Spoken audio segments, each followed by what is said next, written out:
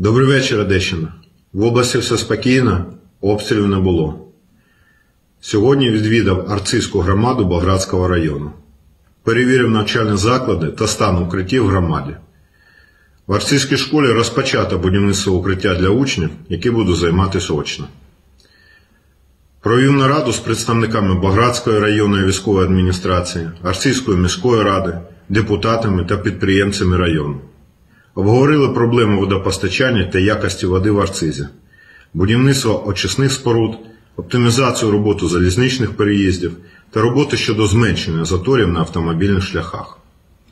Тихо і всім ночі. Все буде Україна!